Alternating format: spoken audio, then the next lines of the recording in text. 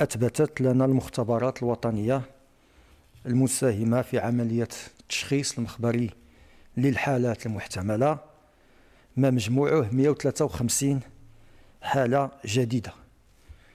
ليصبح إجمالي الحالات المؤكدة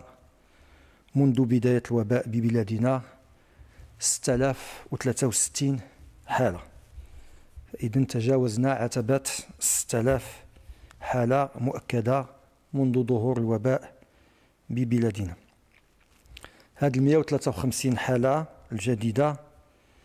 سجل جلها بجهات الرباط صالة القنيطرة ثم جهة فاس مكناس ثم جهة الدار البيضاء السطات ثم جهة مراكش أسفي وجهة طنجة تطوان الحسيمة.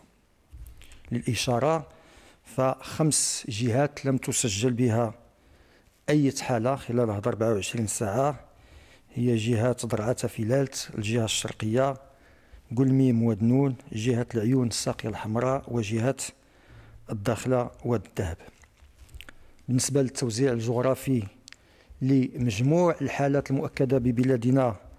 منذ بداية الوباء لم تعرف تغيرا كبيرا بحيث تظل جهة الدار البيضاء السطات هي الجهة التي سجلت بها أعلى نسبة من الحالات بما يقارب 27% تليها جهة مراكش أسفي بما يقارب 20% ثم تأتي في مرتبة أقل جهتي طنجة تطوان الحسيمة وفاس مكناس. ثم في مرتبة أقل جهتي ضرعة فيلالت وجهة الرباط صلاة القنيطرة الإشارة كذلك. فجهتي العيون الساقية الحمراء والضخلة والذهب لم تعد لديهما أي حالة متكفل بها في المستشفيات المعدة لذلك. كذلك هذه 153 حالة الجديدة لازلنا نكتشف معظمها ضمن عملية التتبع الصحي والكشف المخبري لدى المخالطين ف 130 من هذه 153 حالة تم اكتشافها خلال هذه العملية أي بنسبة مئوية تصل إلى 85% هذه العملية المخالطين همت منذ بداية الوباء ما يقارب 35 ألف حالة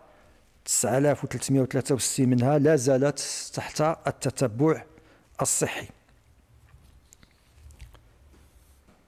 كذلك خلال هذه 24 ساعة تم مع الأسف تسجيل حالتي وفاة جراء هذا المرض ديال كوفيد 19 ليصبح بذلك العدد الإجمالي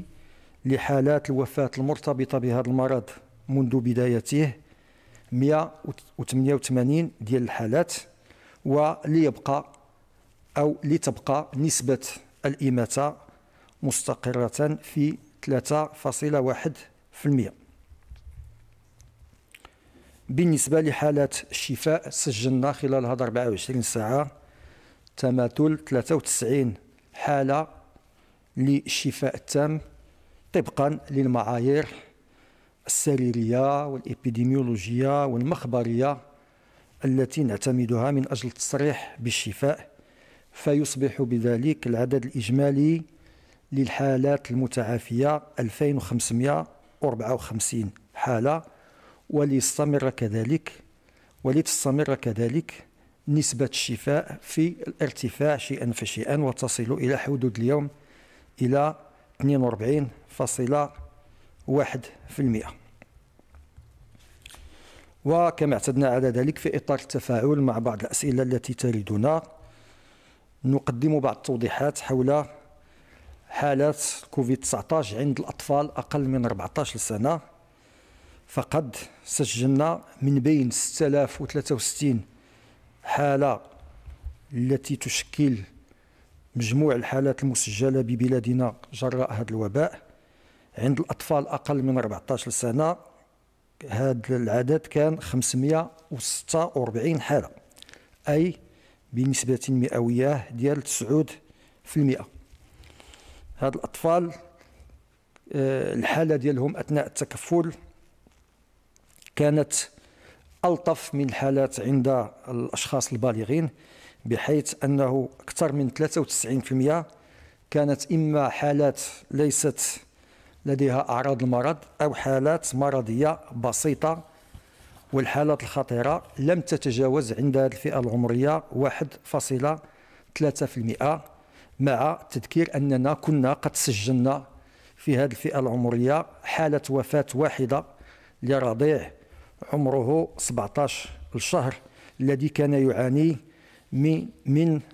أمراض متعددة منها مشكل في النمو ومشكل في الكليتين.